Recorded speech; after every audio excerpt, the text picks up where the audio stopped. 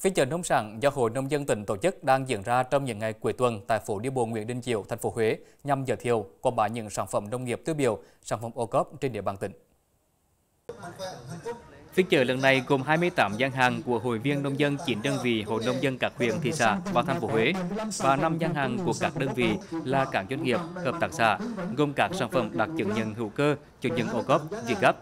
Các sản phẩm được đánh giá đạt chuẩn an toàn vệ sinh thực phẩm, được thiết kế, trang trí, trưng bày mỹ quan, thuận lợi cho khách tham quan mua sắm tiếp cận các sản phẩm được tổ chức thường niên, phiên chợ bên cạnh tăng cường xúc tiến thương mại, kích cầu tiêu dùng, thực hiện chủ trương người Việt Nam ưu tiên dùng hàng Việt Nam. Đây còn là dịp để các địa phương, các chủ thể sản phẩm có sự nhìn nhận, đánh giá và so sánh, qua đó góp phần nâng tầm thương hiệu, chất lượng sản phẩm, đảm bảo phục vụ yêu cầu của địa phương. Từ đến cuối năm 2023, toàn tỉnh đã có 75 sản phẩm được công nhận sản phẩm ô cốp trong đó 18 sản phẩm đạt 4 sao, 53 sản phẩm đạt 3 sao và 4 sản phẩm tiềm năng 5 sao, đề nghị Bộ Nông nghiệp và Phát triển nông thôn đánh giá phân hạng.